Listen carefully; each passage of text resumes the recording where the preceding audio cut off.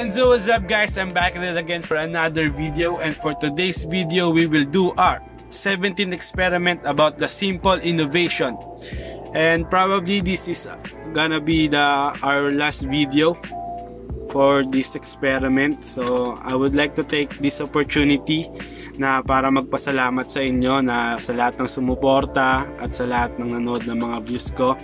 And Maraming salamat sa aming professor na si Miss Mary Jane Concepcion dahil na-unlock na naman ang aming mga natatagong kakayahan para mag-edit-edit at mabus ang aming confidence na pagsalita sa harap ng camera. And kung nagtataka kayo bakit Simple Innovation ang title ng experiment number 17 natin ngayon ay dahil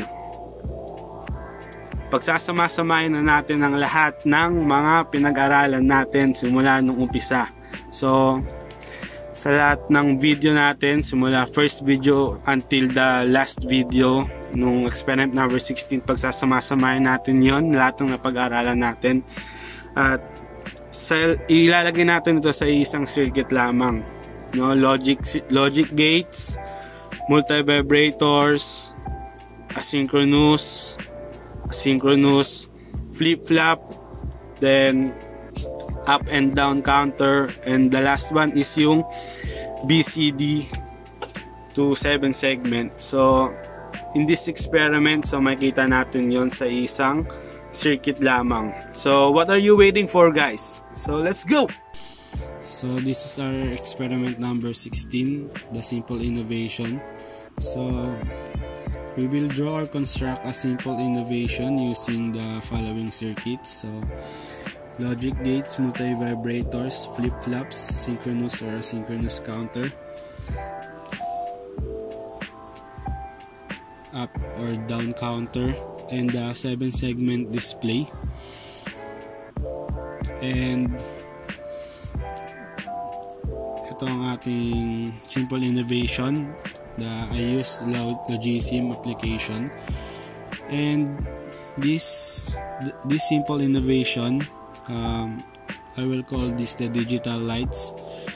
Uh, may timer siya. Ito yung Christmas lights niya which is yung 6 na LED so ito yung 7 segment na magsisilbing timer kung hanggang kailan ko gustong iset nang nakabukas yung LED which are yung Christmas lights natin. So, meron din tayong mga KK flip-flops, logic gates, yung up-down counter din. So, simulate na natin siya.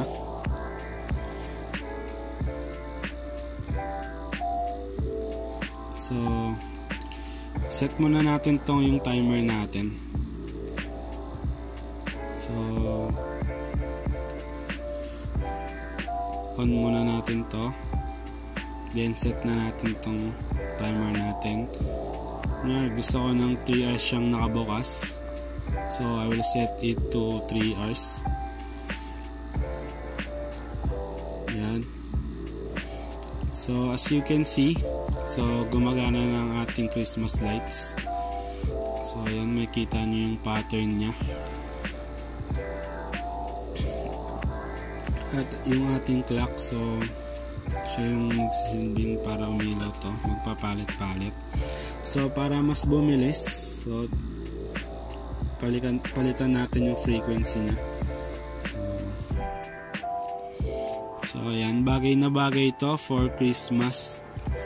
No?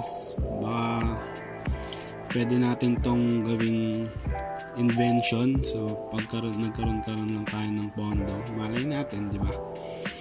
So this is my simple innovation. So the this simple innovation is the digital lights. Na Christmas lights siya na mayroong timer. So ayan yung timer. So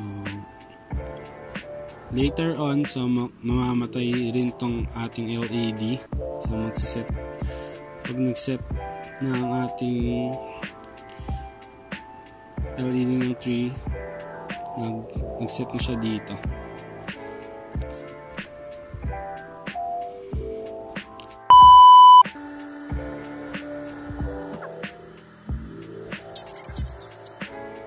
So ayan, makita nyo na namatay na ang ating Christmas lights. So after 3 hours na paghihintay.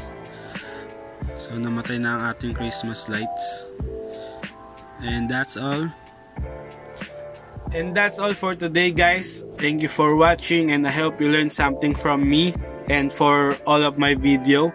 So stay safe, stay at home, keep safe and God bless.